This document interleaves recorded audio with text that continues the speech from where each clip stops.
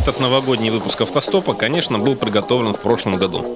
Но мы попытались внести в него чуть больше экстрима и развлечений, которые для нас начались в проруби Магнитогорского пруда с целью оздоровиться и освежиться по-крупному.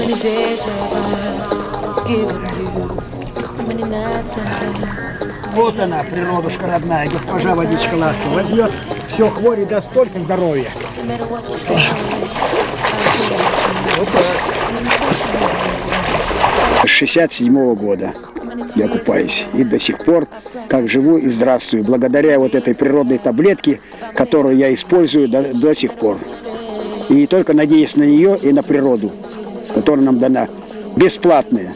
Пожалуйста, приходите и лечитесь, люди добрые. Прошло не менее пяти минут, как вы окунулись в прорубь, и вас грудь голая, вам не холодно? Да нет, ну от этого холода, если, если от нее прятаться, то вообще нельзя. Мы ж природы, мы ж дети-то природы. Поэтому надо к ней идти с открытой душой, тогда и надо здоровье. А если мы будем прятаться от нее, то она, соответственно, будет нас также наказывать. Душа у вас более чем открытая. Скажете, а почему автомобильная передача не автомобильный сюжет? А мы и ответим. Наша передача всегда ратовала за здоровый образ жизни.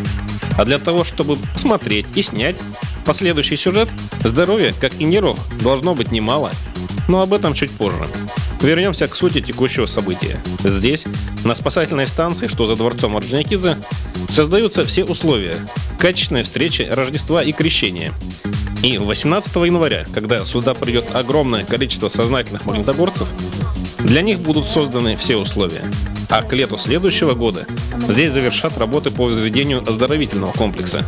Ну а пока чистая уральская водичка ждет всех желающих. Прорубь прыгать хорошо, когда вот попарился в банке в русской, бенечком натерся до, до красна, потом прыгаешь, или это не обязательно? Абсолютно не обязательно.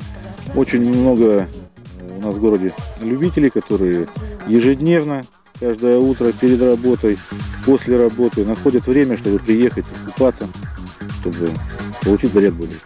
Затеяли помочь людям оздоровиться, сделать еще одно место в нашем городе, где люди бы могли поправить свое здоровье, еще один, попробовать еще один вид активного отдыха. Ну и в первую очередь, конечно, здоровье для людей.